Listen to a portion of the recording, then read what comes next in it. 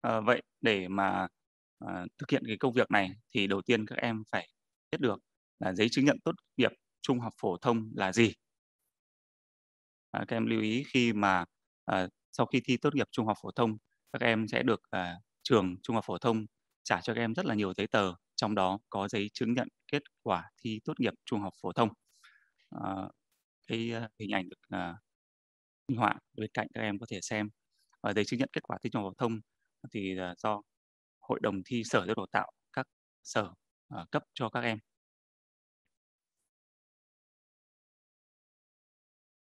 uh, cùng với việc cấp giấy chứng nhận này thì các trường sẽ cấp cho các em cái giấy chứng nhận tốt nghiệp trung học phổ thông tạm thời. thì nên là rất nhiều em bị nhầm lẫn giữa hai cái giấy chứng nhận này.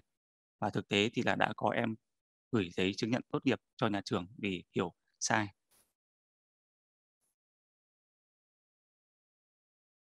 Um, giấy chứng nhận tốt nghiệp này thì mỗi thí sinh chỉ được cấp, một, uh, giấy duy nhất với cái mã số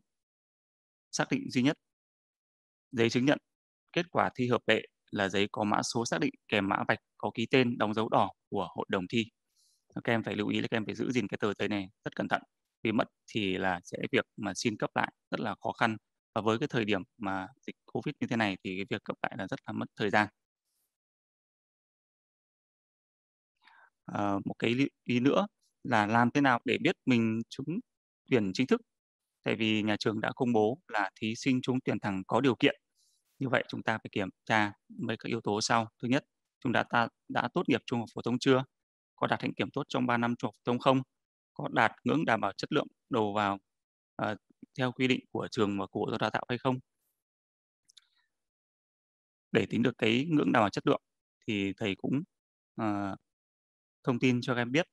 Thì đối với trường thì đối với các cái ngành ngôn ngữ Nga, ngôn ngữ Ả Rập uh, thì điểm ngưỡng đầu vào là 26 điểm, bao gồm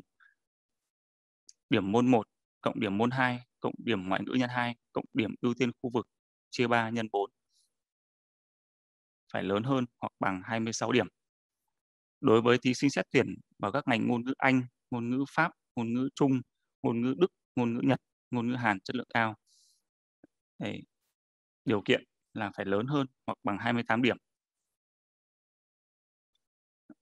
Trong đó môn 1 cộng môn 2 cộng môn ngoại ngữ nhân 2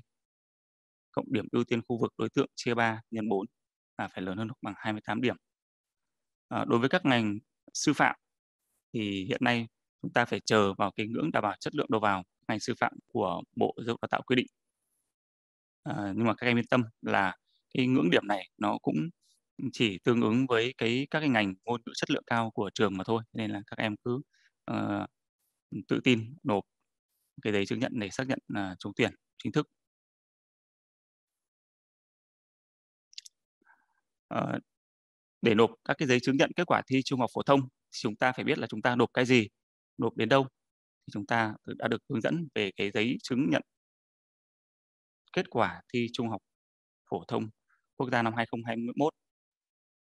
Nộp ở đâu? Nộp cho đến phòng 107, phòng đào tạo trường Đào ngoại ngữ, Đại học Quốc gia Hà Nội, số 2 Phạm Văn Đồng, Cầu Giấy, Hà Nội, số điện thoại 024 3754 8137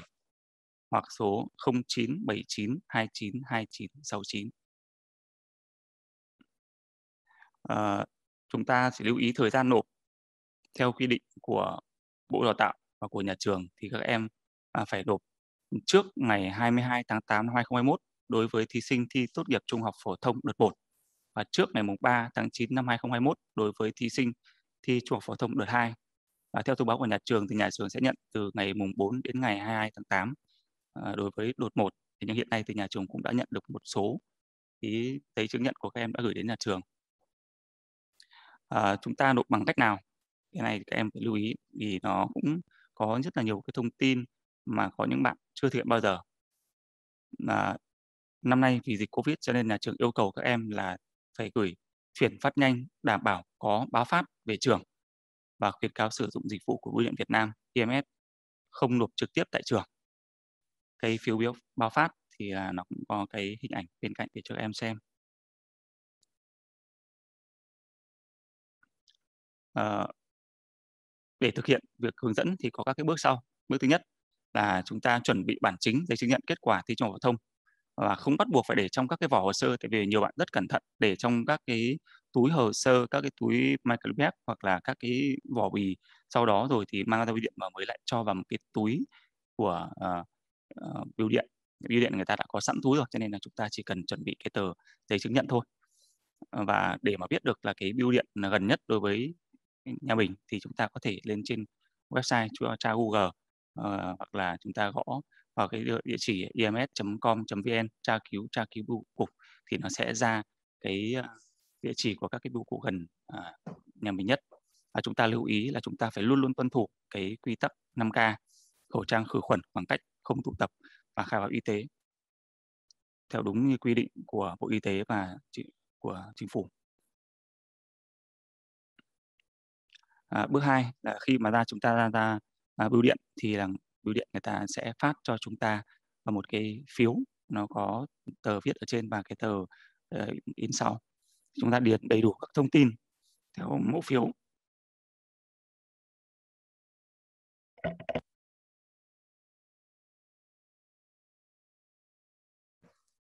Chúng ta điền đầy đủ thông tin theo các cái mẫu phiếu gửi của bưu điện như hình bên cạnh à, ví dụ như các thông tin về họ tên địa chỉ số điện thoại của thí sinh rồi thì là thông tin của người nhận như là phòng đào tạo phòng 107 nhà A1 trường đào ngữ đại quốc gia Hà Nội. Chúng ta ghi cả số điện thoại để trong trường hợp mà bưu cục người ta mang đến trường người ta không gặp được người tiếp nhận thì người ta có điện thoại để người ta hẹn và người ta uh, chuyển cho trường. Và một cái rất quan trọng là các em phải yêu cầu nhân viên bưu cục là chúng ta gửi chuyển phát nhanh có báo phát nó được thể hiện ở trên cái mục 6 nhỏ đây là chỉ dẫn người gửi. Khi không gửi được bưu cục thì là chúng ta phải chuyển hoàn tích vào đó. Và cái loại hàng uh, gửi là tài liệu.